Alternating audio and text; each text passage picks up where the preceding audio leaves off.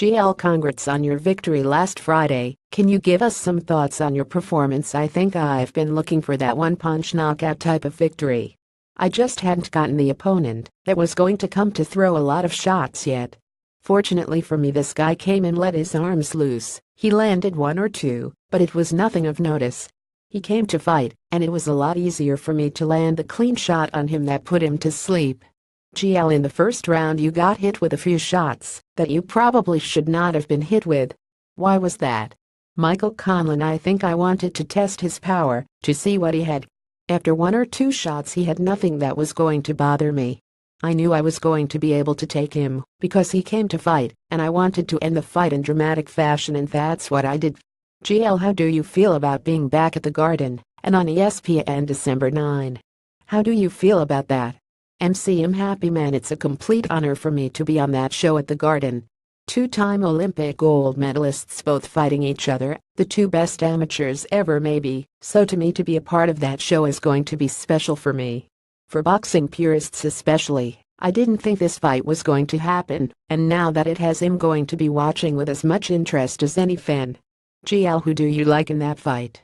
MC I just think Lomachenko is too big, the fight is at 130 and Rigo is a 122 fighter who could possibly fight at 118 I don't know, but Lomo is a big 130 and in the amateurs he used to be at 135, so I think he's going to be too big.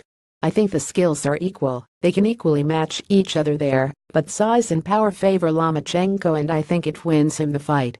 GL you were originally planning to end the year with a fight in Ireland. Why the change of plans? MCU you know we sat down and talked with Top Rank and they told me they wanted to have my home fight on ESPN.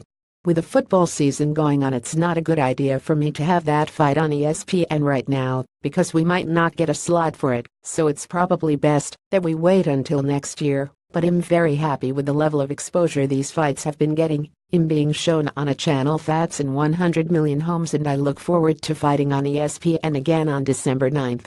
I'm going to continue to look to get these big knockouts. GL how do you feel about being on the same show as Shakur Stevenson? MC it doesn't bother me, I'm not fighting him, so I'm not worried about him at all. I'm looking forward to watching Lomachenko Rigondeaux and I'm looking forward to putting on a good performance. GL what did you think about the two title fights on the last show? MC I thought they were both great fights, especially Ramirez Hart. I thought that was a 50-50 fight going into it, and it didn't disappoint. There were ups and downs, Ramirez dropped him, but Hart got up and fought hard. The Valdez fight was also a slugfest, so I think it was a great evening of boxing. It was a great card to be on, and I was happy to be a part of it. GL are you a featherweight now? MC yes I am. GL closing thoughts. MC thank you for the continued support as always, I'm going to keep working hard, and there's definitely going to be some more excitement coming your way.